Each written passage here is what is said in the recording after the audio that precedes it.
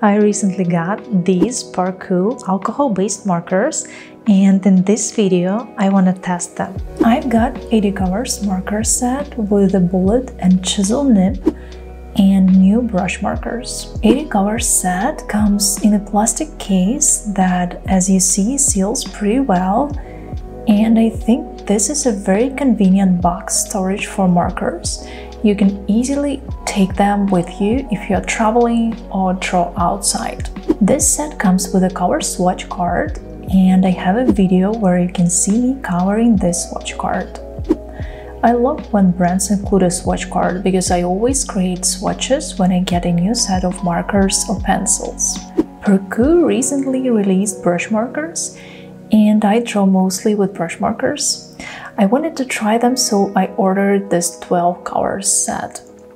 They look a little bit different and I like the look and feel of the brush markers more compared to the bullet nib marker.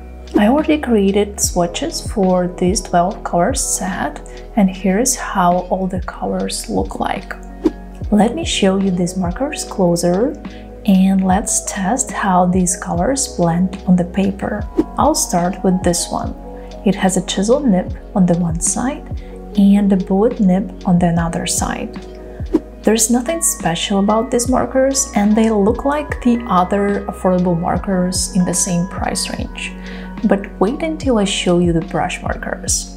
I decided to blend these two colors just to test them, but I should say that bullet nibs in general not designed for creating perfect color gradients, so I wouldn't pay much attention to the result. What I really like about Parkoo markers in general, they're full of ink, the tips are juicy and easy to draw with.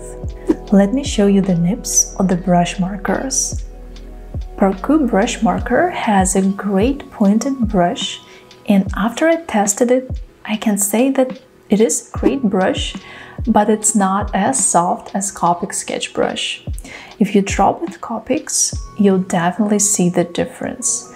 But it doesn't mean that Copic brush markers are better, they're just different and I think it really depends on what you get used to. Let's try to blend these two colors. I like brush markers mostly because they're great for blending colors. And one thing that I really like about these Parkoo brush markers, the markers draw so smoothly on the paper and the ink spreads evenly that it's hard to believe that these set of 12 colors cost $10. I also like the look and feel of these markers more compared to their chisel nib markers. Although when it comes to blending colors, it doesn't blend perfectly. Usually it depends on the paper, but in this case I'm using a green paper and most markers blend well on it. But overall they're pretty good. I showed you all the markers, we looked at how the colors blend together. It's time to draw something with these markers.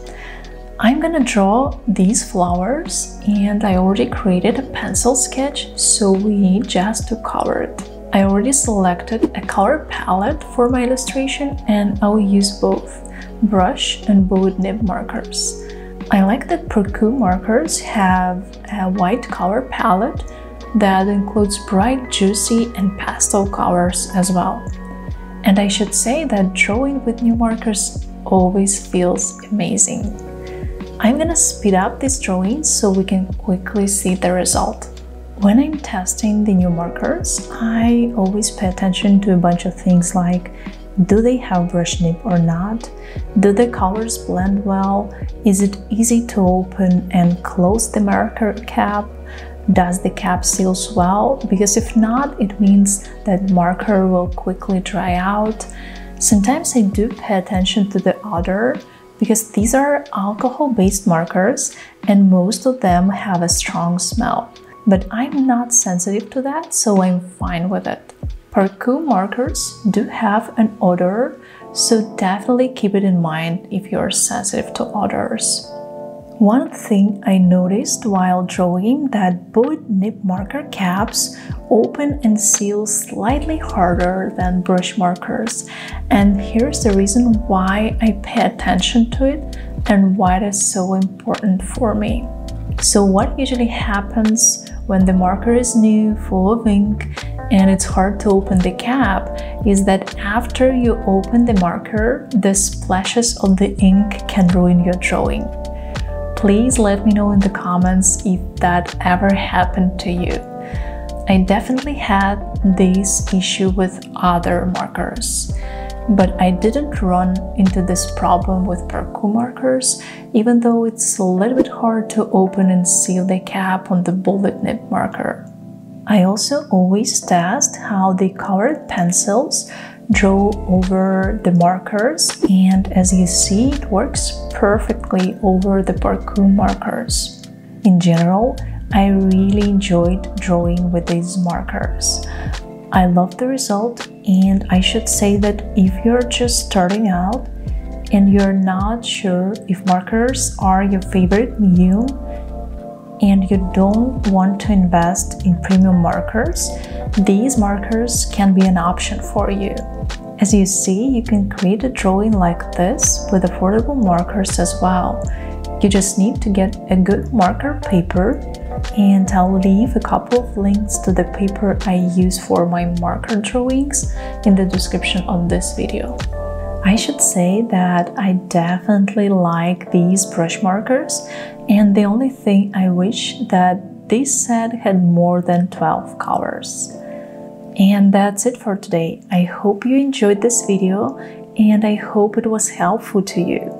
Please let me know if you tried these markers and what do you think of them in the comments below. Don't forget to like this video and subscribe to my channel. Thank you so much for watching and I'll see you in my next video.